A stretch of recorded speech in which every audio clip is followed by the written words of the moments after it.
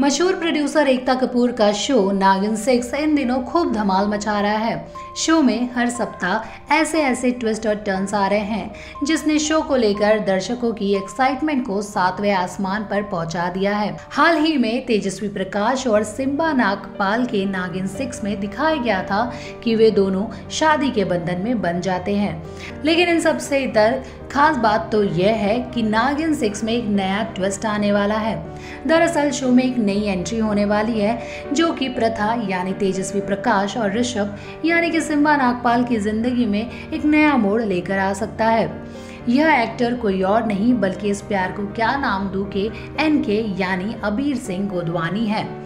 जी हाँ according to reports Abir Singh Godwani Naagin six में अहम किरदार निभाते हुए नज़र आएँगे। शो के सिलसिले में उनसे सवाल भी किया गया था। हालाँकि उन्होंने इस पर कुछ खास जवाब नहीं दिया और कहा, मैं इस चीज़ के बारे में अभी बात नहीं कर सकता हूँ। बता दे कि नागिन सिक्स के ज़रिए अबीर सिंह गोदवानी टीवी की दुनिया में वापसी करेंगे।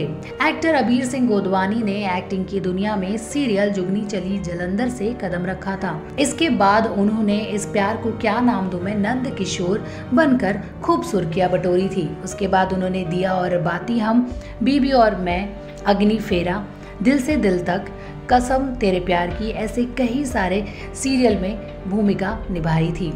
अबीर सिंह गोदवानी से पहले एक्ट्रेस अर्शी श्रीवास्तव के भी नागिन सिक्स में एंट्री करने की खबर आई थी। हालाँकि इस बात पर मेकर्स की ओर से अभी तक कुछ भी नहीं कहा गया है।